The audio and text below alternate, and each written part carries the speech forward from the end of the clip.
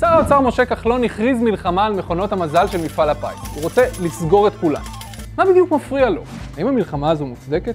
אנחנו רוצים להראות לכם איך נראות מבפנים תחנות מפעל הפיס שיש בהן מכונות מזל, בדיוק ביום שבו הביטוח הלאומי מחלק את קצבת האבטלה שלו. אתם תשפטו.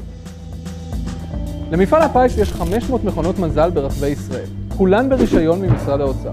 הן פועלות ב-150 תחנות וקוראים להן פייס פלייס. המהמרים נכנסים לחדר סגור, מתנתקים מהעולם ומתחילים לגלגל את המספרים, ממש כמו בווגאס.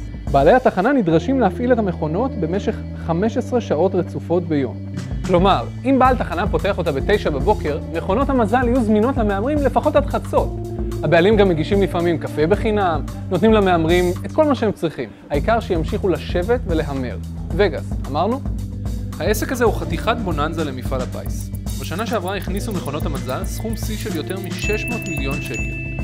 אחרי שמורידים את כספי הזכיות והעמלות לבעלי התחנות, יוצא שמכונות המזל אחראיות לכמעט רבע מהרווח של הפיס. יותר מהצ'אנס, יותר מהחישגת, יותר מהראלה, וכמעט כמו הגרלת הלוטו הגדולה. לפי מסמכים פנימיים, מפעל הפיס השקיע 50 מיליון שקל במכונות האלה. הוא החזיר את ההשקעה תוך חודשיים בלבד. זה החלק הכי צומח במפעל הפיס בעשור האחרון.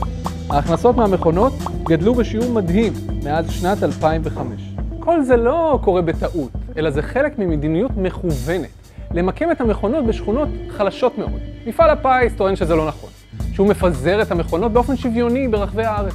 אז החלטנו להוכיח בדיוק את זה. בתל אביב למשל, יש 16 תחנות של פייס פלייס עם מכונות מזל. מתוכן, 10 תחנות מפוזרות בשכונות הכי חלשות של העיר.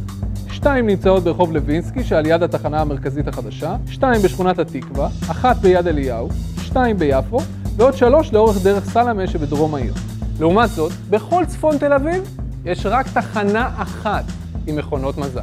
המצב הזה חוזר על עצמו כמעט בכל הערים הגדולות. בירושלים, בפתח תקווה, בראשון לציון, באשקלון, בנצרת עילית, בשדרות, בעכו, בעפולה, בכרמיאל. בקיצור, הבנתם את הרעיון. אז עכשיו כחלון רוצה לחסל את המכונות האלה במכה אחת, כבר מינואר הקרוב. לגרות אותן עד לאחרונה. מפעל הפיס מצידו הכריז על מלחמה במשרד האוצר, או התנתקות ממנו אם תרצו. מאחר שמפעל הפיס שייך לשלטון המקומי ולא למדינה, הוא כבר הפעיל את ראשי הרשויות שיאיימו בשביתה כללית עם פתיחת שנת הלימודים. האיום הזה הוסר כרגע, אבל הקרב עצמו רחוק מסיום, וצפוי להתחדש בכנסת מיד אחרי החגים. כשזה יקרה, או כשיושב ראש הפיס עוזי דיין יספר לכם שפשוט מוכרחים להמשיך להפעיל את המכונות האלה בשביל לממן בניית כיתות לימוד או מתנסים ברשויות, פשוט זכרו מאיזה כיס מגיע הכסף הזה.